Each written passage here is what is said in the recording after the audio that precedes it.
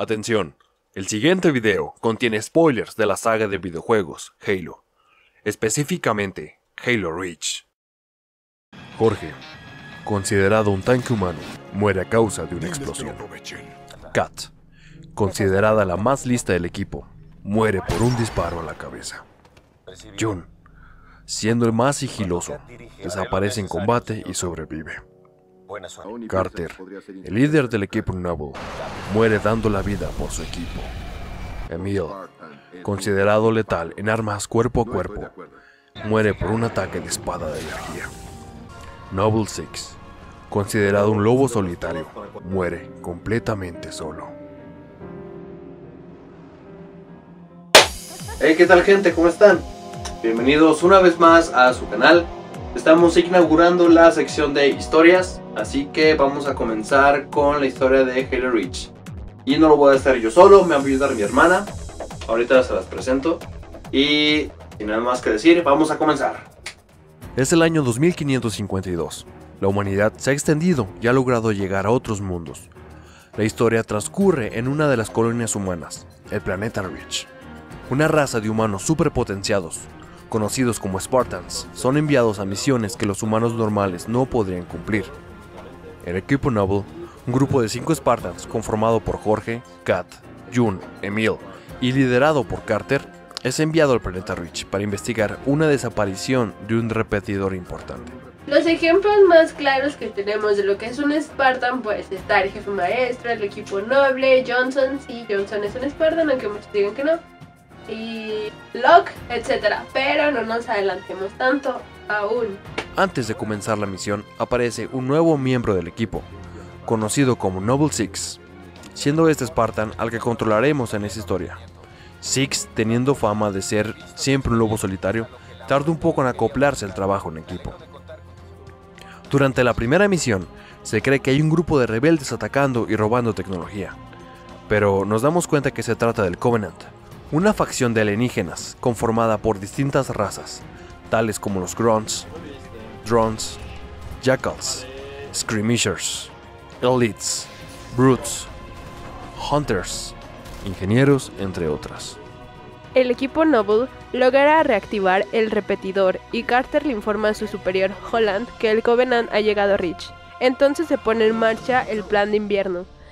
Después de esto, el equipo Noble es enviado a la base de los Sword de la ONI para repeler y eliminar a los Covenant, ya que se necesita rescatar a alguien importante. Al final de la misión se nos revela que se trata de la doctora Halsey, una importante y destacada científica que desarrolla tecnología que ayuda a la humanidad. Ella fue la responsable de crear a los Spartans, como medida para tener superarmas humanas en caso de un ataque que pusiera a los humanos en desventaja. Kat envía a Jun y a Seis a una misión de reconocimiento durante la noche, para saber el nivel de los ataques que recibirían. Gracias a esto se descubre que el Covenant está preparándose para invadir completamente Reach. Al día siguiente, la UNSC envía un contraataque, ya que Jun tiene que detonar una carga que dejó en la misión anterior. Para poder retrasar al Covenant y destruir las torres que tienen esparcidas, 6 logra desactivar los escudos de una torre y todas las naves la destruyen. Inmediatamente después de esto, una nave fragata enorme aparece y destruye las naves de la UNSC. El alto mando pone en marcha la operación Gancho, la cual consiste en capturar la fragata y destruirla, utilizando un motor espacial como una bomba. El plan está funcionando bien, pero todo cambia cuando durante un ataque el motor es dañado y la cuenta regresiva se abría.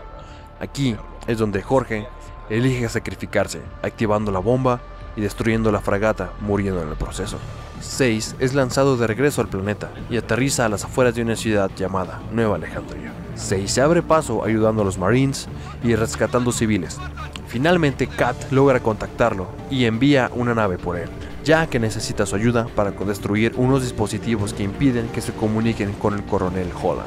6 logra su objetivo y se reúne con su equipo, pero durante la llamada a su coronel, la radiación comienza a aumentar. En eso las ventanas explotan. Todos corren a buscar refugio. Kat, quien venía corriendo detrás de Seis, recibe un disparo en la cabeza y muere. Seis no deja a su compañera ahí y se lleva el cuerpo. Luego, el equipo Noble es enviado a destruir la base SWORD de la Uni, ya que el Covenant la ha tomado. Al llegar al interior, no encuentra explosivos, solamente un ascensor. Después, la doctora Halsey, quien se creía muerta, les pide ayuda para conseguirle tiempo y que ella pueda entregarles algo muy, muy valioso. Después de aguantar varias rondas de enemigos, se reúnen con Halsey. Ella les revela que Rich está condenado. La única forma de que la humanidad sobreviva es que lleven a la IA, denominada como Cortana, a un crucero llamado el Pillar of Autumn, y entregarla al comandante Kiss. Carter le dice a June que escolte a Halsey y que no la deje para nada, pase lo que pase. Mientras tanto, él, Emil y Seis se dirigen al Pilar. Entonces cada grupo se va en un Pelican hacia su destino. Durante el transcurso, el Pelican es atacado por varios Phantoms. Carter, al ver que no lo lograrán, envía a Emil y a Seis a tierra, mientras él distrae a las naves. Emil y Seis se abren paso hasta que son interceptados por un Scarab. Al estar a punto de morir y quedarse sin munición, Carter hace su último sacrificio y estrella el Pelican, destruyendo el Scarab y dejando el paso libre a Emil y Seis. Al llegar a la plataforma, Emil toma un cañón para destruir las naves, mientras Seis se encarga de despejar una zona de aterrizaje. Kiss logra bajar y Seis le entrega a Cortana. En eso, un Phantom toma por sorpresa a Emil y bajan varios Elites Celot. Emil es atravesado por una espada de energía, causando su muerte no sin antes matar a los Elites. 6. Al ver que Kiss no logrará regresar al pilar, decide hacer un sacrificio más. Así que se dirige al cañón y le consigue una ventana de tiempo a Kiss, logrando este último llegar al pilar. 6. Siendo el último Spartan del equipo nuevo, se queda en Reach, resistiendo oleadas de enemigos Covenant, hasta que finalmente sucumbe ante ellas. Luchando hasta el final, se observa a un Elite atacándolo y finalmente muriendo a manos de este. O tal vez no. Muy bien, ahora vamos con lo bueno de Halo Reach. Una de las cosas que a mí se me hicieron que es lo mejor del juego es la implementación de habilidades de armadura. Ya saben, las que podemos intercambiar a lo largo del juego, como es la mochila cohete, sprintar, camuflaje bloqueo de armadura, escudo burbuja y evasión.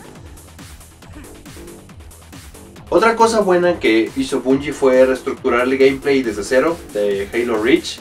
No utilizaron, no copiaron ni pegaron la fórmula de Halo 3. Empezaron desde cero a hacer el gameplay, la estructura de movimiento, disparo y todo eso. También algo de lo mejor del juego creo que es la modificación del Spartan, de que podemos hacer a nuestro Spartan ya sea hombre o mujer y modificar la, armadura, el color, el casco, todo eso. Otro aspecto muy bueno fue de que se incorporó eh, la variedad de multijugador. Lo que metieron fue este modo Forge, que es para crear como tus propios desafíos, tus propias pruebas, que está muy divertido jugarlo con amigos. Otra función muy importante fue el tiroteo. Lo que hace, te mete en un mapa y te manda oleadas de enemigos del Covenant para estar sobreviviendo por oleadas y te da puntos. Eso es algo muy divertido y se puede jugar en solo o con compañeros y multijugador. Y por último, uno de los aspectos más importantes que se pasó a la nueva versión de Master Chief Collection fue el sistema de rangos conforme ibas superando pruebas o pasando en este, misiones o matando enemigos, subía poco a poco tu nivel y eso te iba como que diferenciando a los demás jugadores. Fue una forma como de recompensarte muy muy genial. Ahora vamos a ver lo extraño de Halo Reach. Una de las cosas que más nos deja con duda en el juego es acerca de Jun, porque desaparece en batalla y ya luego no sabemos qué pasó con él. Bueno, ya no sabemos nada del paradero de Jun, solo eh, no se explica en cómics o en libros, pero en el juego pues ya no. Una de las cosas extrañas que tiene fue de que Bungie, el estudio desarrollador, decidiera hacer Halo Reach en lugar de Halo 4. Que bueno, para mucha gente Reach es el Halo 4, porque pues fue el último juego desarrollado por Bungie. Y se sabe de que Bungie estaba desarrollando Halo 4 al inicio, pero por falta de tiempo y de recursos se lo pasaron a 343 Industries y que esa es otra historia. También algo muy extraño aquí es que Kat no sabe manejar. Y creo que es lo- el único Spartan que si le das el auto para que ella maneje y tú disparas, te va a terminar probablemente matando o aventándose a, a un precipicio. Ay. Ya tiraste el Warhol. Sí, ya lo tiraste. El IA de Halo Reach no funciona, sobre todo, no sirve para manejar. Otra cosa es que Master Chief siendo el protagonista de la saga de Halo, este, pues no es mencionado y no aparece en Halo Reach. Solamente sale en este Easter eggs o huevos de Pascua, que es una estatua y al final, si giran la cámara hacia la derecha, en la última cinemática, podemos verlo dormido en su tanque, esperando para despertar en Halo 1. Y a mí una de las cosas que más se me hicieron extrañas, bueno, más bien curiosas, es que no volvemos a saber nada de los Guta. Creo que a mí me hubiera gustado más conocer más acerca de estas especies de Rich que podemos ver en la misión Anochecer. Que al parecer, creo que solo sabemos de que no pueden ver, son ciegos y nada más se basan en el sonido para atacar. Uno de los puntos más importantes y más extraños que tiene Halo Reach, que tiene que ver con el jefe maestro, es que no sé si muchos saben, pero existe un libro llamado First Strike. Es una novela donde te cuenta que después de los eventos de Halo 1, Master Chief regresa a Reach para buscar a sobrevivientes y rescatarlos. Hubiera sido y hubiera estado muy bien de que Bungie nos hubiera regalado un DLC o misiones extra como fue Halo 3 ODST utilizando el jefe maestro en Reach destruido, buscando a los sobrevivientes y no lo sé, tal vez encontrando el casco de Noble Six hubiera sido una buena referencia. Bueno gente, de nuestra parte es todo, ahí tienen ya la historia, si quieren saber más pues vayan a ver los videos, no sean flojos y de nuestra parte es todo y jueguenlo en legendario. Así que abajo están nuestras redes sociales para que nos sigan, denle like, compártalo y ya saben, cuídense y nos vemos en el siguiente video.